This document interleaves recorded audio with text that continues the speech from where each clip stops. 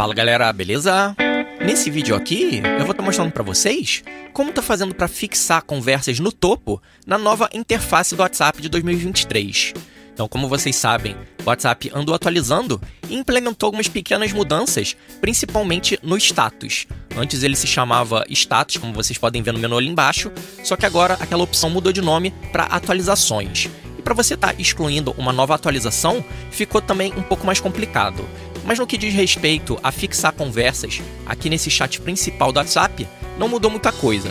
Então, quando você escolhe fixar uma conversa para ficar sempre ali no topo, a vantagem é que ela vai permanecer sempre naquela mesma posição, independente se chegarem novas mensagens para você. Então, quando você não tem nenhuma mensagem fixada, a mensagem que está ali em cima, ela vai descendo conforme vão chegando novas mensagens para você. Então, você fixando uma conversa é uma forma de manter ela sempre visível ali em cima. Então, se você deslizar o dedo da direita para a esquerda em cima de uma conversa, você encontra algumas opções como arquivar, aquela opção ali de mais. Se você apertar, você encontra opções para silenciar, para limpar a conversa, para bloquear e até apagar a conversa inteira. Só que você não encontra aqui uma opção para fixar. Então o que você vai fazer é na verdade deslizar o dedo da esquerda para a direita em cima da conversa que você quer fixar. Eu vou deslizar aqui o dedo da esquerda para a direita e vocês podem ver que vão aparecer novas opções ali na esquerda.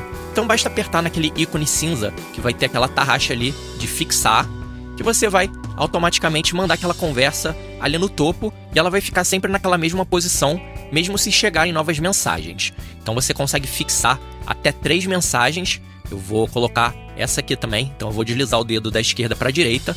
Eu vou fixar essa aqui também. E eu vou fixar é, esse grupo aqui, amigos do Blue Screen.